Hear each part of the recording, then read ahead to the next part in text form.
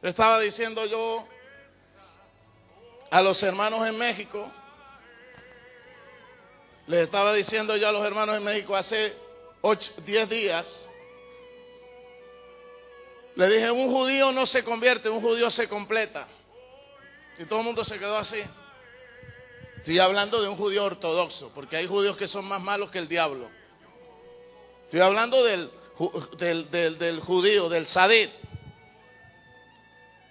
Un judío toda la vida, un sadí ha guardado Torah, ha guardado chabano, ha comido puerco, no ha adorado ídolos. ¿Qué le hace, qué le hace falta a un judío?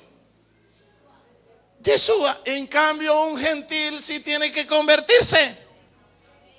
Porque toda la vida ha adorado a San Gregorio, a San Pecueco, a San Caralampio, ha comido puerco, ha comido guartinaja, ha comido sapo, ha adulterado, ha fornicado, ahí donde Changó, donde Yemayá, donde Orizao, que ese se tiene que convertir. Entonces, como nosotros, que toda la vida hemos, vivido como gentiles, vamos a estar delante del juez justo que ni siquiera la Torah hemos guardado a decir, Señor, yo creo que soy buena persona. Wow. El Señor se va a reír. ¿Sabe qué va a decir el Señor? Apartado de mí, malditos, al fuego eterno preparado para el diablo y sus ángeles. Nuestras propias obras no nos pueden justificar para el perdón de pecado delante del Señor si no vamos cubiertos con la sangre de Yeshua Hamashia. Eso es lo que se llama gracia.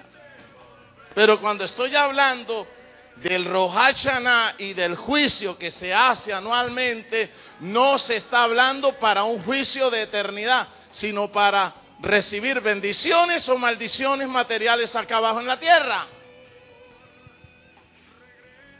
Vamos a ver si me entienden, porque salen y después allá dicen otra cosa que yo no he dicho. Amén. Mené, mené, tequel, uparsin. Fuiste pesado en balanza y fuiste hallado que falso, papá. Salió falsión y el hombre. ¿Quién es el único que te puede pesar? Hay cosas que para ti son normales, pero para Dios no. Para mí es normal, para mí, para mi carne, para la sociedad es normal acostarme con la mujer del vecino si me da papayita. Para mí eso es normal. Y si no lo hago, de pronto soy homosexual.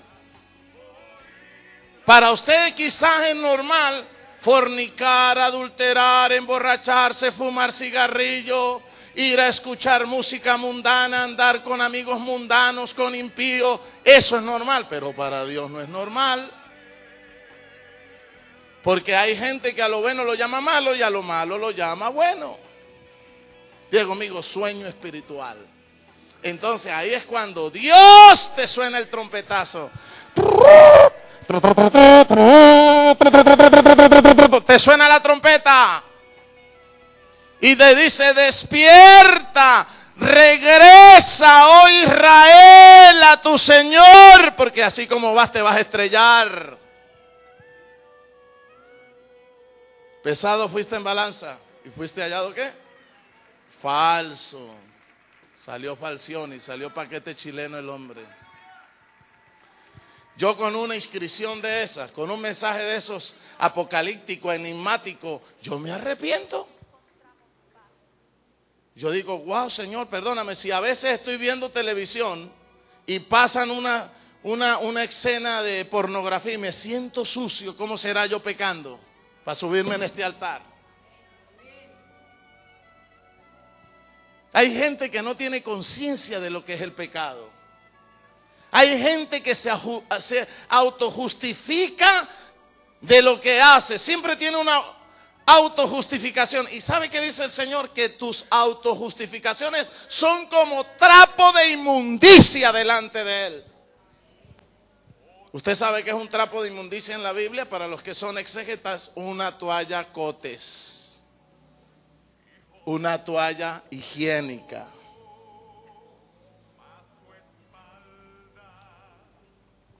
¿Hay alguien que puede decir aquí, yo soy más justo que los justos?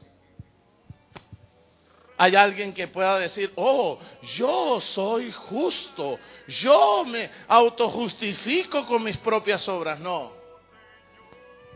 Todos somos malos, todos somos pecadores.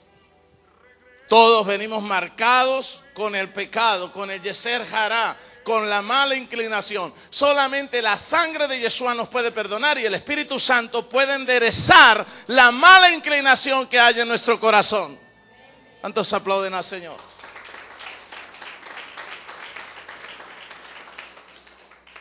Amén. Toda esta semana estaré hablando de la Techubá, estaré hablando de Rosh Hashanah, estaré hablando del Yom Kippur. ¿Qué pasaba en Rosh Hashanah? Se sonaba la trompeta. Y el trompetazo proféticamente significaba muchas cosas. Diga conmigo, fiesta y a la vez arrepentimiento. ¿Fiesta por qué? Porque es el día que se conmemora, que se conmemora la fundación del mundo. Según la tradición judía, Adán y Eva fueron creados en el día de Rosh el primero de Tisri. El mundo fue creado. Por eso dice la palabra del Señor, Berechit, ¿en el qué? En el principio. Berechit, digan amigo, Berechit. Berechit baraja Elohim.